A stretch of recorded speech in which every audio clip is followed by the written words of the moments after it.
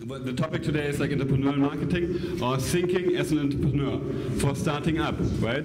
You basically have the problem that you're starting by zero and wants to wants to go to one, which is like a factor of infinity. If you go to one to 100, it's just a factor of 100. But from zero, nobody knows you, to one, it's infinity basically you need to achieve. So, and you have the problem that you have no money. You have maybe better place, you get, you get some money there, some marketing tool, but basically you're like really short of money. So, but what you have is your creativity, right? Necessity pre brings uh, creativity. Again, this is like a quote from Richard Branson. And you also start with a blank sheet of paper. You start by zero, but you can start from scratch. And then you have the opportunity to be different. Actually, like you need to be different to be recognized, perceivable to, to your competitors, to the already established competitors who have like contacts, who have money, and all this. So how do you achieve? How do you go? How do you do marketing? How do people get to know your product? Forget about marketing. Marketing is a monster. Marketing costs money. Yeah, the end customer has to pay maybe you're giving have like a lot of marketing budget and you're not getting any any customers and you just have cost. And marketing also doesn't work. Marketing also doesn't work. Anybody clicks on Google on the Google paid advertising anymore? Not many, right? And if you look at the newspaper, like the, the advertising is not really like appealing or look at the TV commercials. They don't really work. So, but as a startup, as a founder, as an entrepreneur, you have some advantages. One is like not doing marketing, but getting attention. Marketing is just the convention, but you, what you really want is attention. Again, like paid advertisement um, are expensive and are not really effective. You can use your personal background and the innovative aspects of your product. One example is again, this is Holger Johansson from eBureau. Remember eBureau said like, okay, um, put your uh, leave the secretary service to us, yeah, and you can focus um, on your on your um, work, on your actual work. Um, outsource the secretary to us, and you can work from anywhere. So what he did, he rented like an office in Berlin really cheap, really poor, but he said it's going to work. And the, the floor, the floor, the ground was really bad, yeah, really old um, wood and everything. So what he did, he bought three tons of sand and put it in the office, yeah, which has like a big marketing effect. It, uh, it's cheaper than renovating the place. Yeah? The uh, employees, the team members, were walking there barefoot on flip-flops and had a speech feeling. Yeah? And he got into the press. Yeah, he, because he said in this office uh, you can portray, uh, you can um, make a report about the nice startup office here, and it's fitting to our culture. Go to the beach, entrepreneur, and leave the secretary, secretary service to us. So you get a lot of attention for this. Again, think, don't think like as a business manager, don't think in marketing terms, think as an artist. How got, how got artists, how, get, how did they get famous? Yeah? By selling art. Yeah? Another thing about like approaching marketing, marketing differently is authenticity. Yeah? Be authentic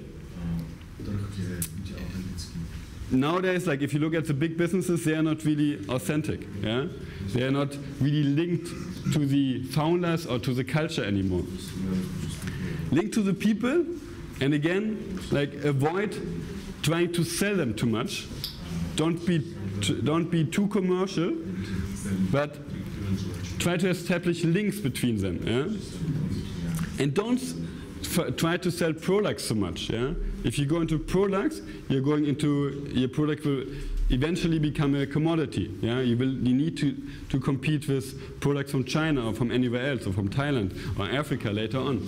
So don't focus so much on the product. Use the product as a transmitter of a story, of an experience, of a value, something you want to see uh, what happens in the world, and link to the traditional roots. We always tell our startups try to secure the home market. Yeah? Don't think about internationally for the next 10 to 12, 15 years. Yeah? Try to become market leader in the home market, and that's like enough of a big challenge actually. And then you need to link to the traditional roots and the cultural heritage. You can play with this. Yeah? Look at look at like the founder from IKEA said. Like actually like what you you can just go international by using your cultural heritage. Yeah? And if you look at IKEA, they are playing with this uh, Swedish heritage model. Just remind us, culture is the base of everything. Yeah? You need to be embedded in society values and society culture. Another thing is like to approach marketing differently again is economics of um, sympathy. Yeah? Try to be don't try to sell so much, but try to see like okay which customers you like, which customers uh, like you, and try to make um, try to build a tribe basically, a following. Okay, so basically right now, yeah, we want to do the speed pitching, and Jochen and Vernon are helping me a little bit. But we needed to do, we need to go in the other room, yeah. But, we, but before, the speed pitching is a great method to, for three things basically. To pitch your idea, to get feedback, and to find sparings partner, people you can connect, and people um, you think, okay, good questions, but maybe the other questions were a little bit better. Yeah, so you can find a team team members for this. So how it works is anybody of you knows like speed dating maybe? Yeah, know it from the movies. Yeah. So like for example, maybe you can come here, maybe we explain like so we are standing in front of each other, yeah. I am explaining my idea in 90 seconds, yeah. Then Jochen is asking me questions, yeah. And I'm not answering the questions, yeah. I will have like some paper and some pen, write down the questions, yeah, and see how the questions how I can further, further develop my, my idea, my concept. Yeah? He will ask questions for 90 seconds. Yeah? Then the roles change. He will pitch his idea for 90 seconds. Then I will ask questions. He will write down the questions and uh, try to apply them to, to his idea. And then we move. Yeah? One side is moving and you can pitch your idea to another person. Yeah? Should we make an example? No. If you, if you you can pitch your idea, yeah, you have from this workshop, you can pitch an idea which is which you have like for a long time, yeah. Or think about the home assignment we had yesterday. Try to make your holidays more entrepreneurial. Try to make your Verein or association, your civil engagement more entrepreneurial. Yeah? maybe your village, maybe your neighborhood. Yeah? You can design your own concept. You can design your, your own startup, your business, connected to your personality. And saying this is really important, especially maybe like for you, because you're younger, to find out, find out what your passion is and to build on this. Yeah? There's a Ken Robinson, maybe like he's he made like a famous animation video on YouTube, rethinking education.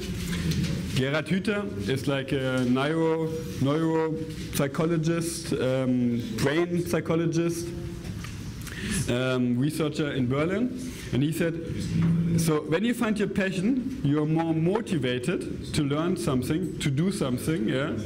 And then, like, even they found out that the brain is making new connections in uh, here in the head. Yeah? So find your passion, what really motivates you, and build on this. And see like what kind of organization you can build fitting to your talents.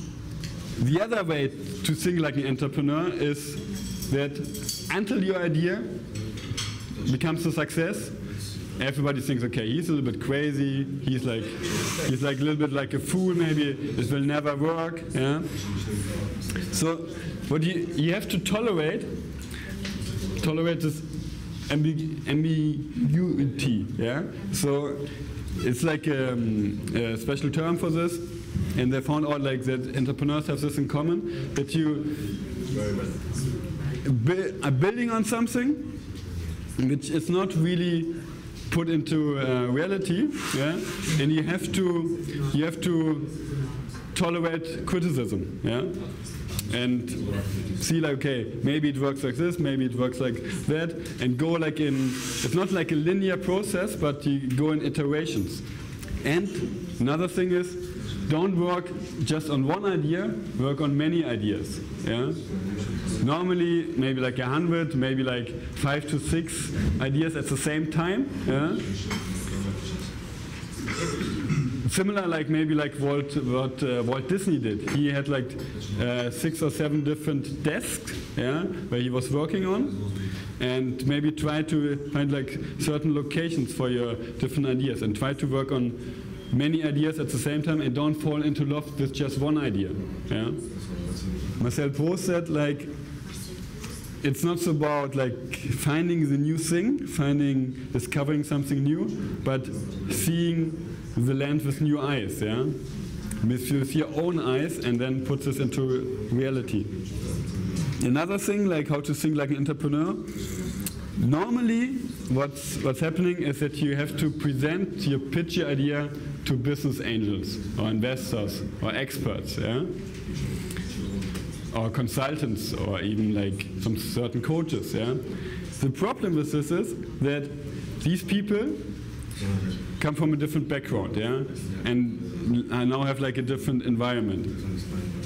We think, and it's really hard to approach them anyway. Yeah, we think it's much better to find sparring partners, people who are the, in the same boat, like what we did here in the speed pitching, and we're also working on ideas, pitch them the ideas and get feedback from them because they're in the same role as you. Yeah? Maybe What is sparring partner? sparring partner is like it comes from boxing, right? In boxing, yeah, boxing, yeah, boxing, yeah. In boxing, you you train, yeah, boxing, yeah, for the for the real fight, yeah. But you don't try to um, kill the other person in the training. Yeah, you try to okay, where is his defense, how is his offense, yeah, and try to uh, do sparring with him. Yeah, the same like in other sports. Yeah, sparring partner concept. Can I say something? Yeah. Can I say something? A sparring partner is a partner that you use as an adversary only in training, to train yourself for the real fight. Uh, fight. Sparring means fighting. It's not the real adversary, it's only the one Exactly. And for, for entrepreneurs, it means like before you go into the into the market, yeah, into the real life, yeah. Train your idea, train yourself with other entrepreneurs, with other sparring partners who are working also on ideas. Yeah. Maybe it's not so hard. Maybe like uh, you just need like some creativity, put things simple, and have some vision where it goes, some values you want to see in life. Don't try to to live like the conventional rules by the conventional rules, Make your own rules. Try to think what is the function of it, and be curious and free, and free to learn. Take a different view of the world. Take you your view of the world, and try to put it into reality. So, and this is what we tried like uh, in the beginning with the paradigms, with the new paradigms of entrepreneurship.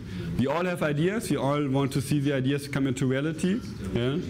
And with the distinction between entrepreneurship and business administration, and using components and having time to work on your concept, yeah, you're avoiding some bottlenecks, some pitfalls others entrepreneurs do.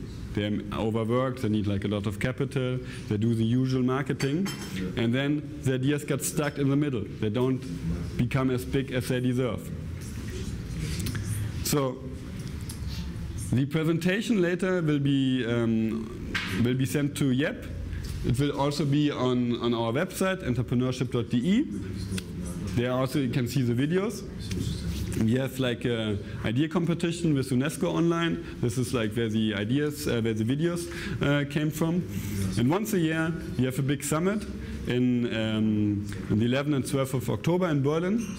Um, it's mainly in German, but uh, some um, presentations are also in English. So that's like the part, that's my part. Um, do you have any questions or feedback? Yeah, but capitalism is just like a term we use like for the nearly last 50 years. Economy is centuries old. Yeah, the old philosophers did economy. Yeah, and this is about like what Henry Ford said that more people are participating in the economy. Yeah, and actively participating with their with their startups, with their ideas. Yeah. And coming back to this e-bureau example, of course, it seems like e-bureau is just like a normal company, yeah. But you can also say e-bureau is helping other entrepreneurs to free themselves from from the normal secretary services, yeah. They outsource this, yeah, and have more time to work on their entrepreneurial concept, yeah. So e-bureau is basically a component for other entrepreneurs, yeah. Of course, you can say like it's a capitalist co- company, but yeah, it's making money. There's, there's not so much wrong with that. Okay. Okay. Bring things to uh, a close for, for uh, this work, workshop, and um, and thanks Simon for his. Uh,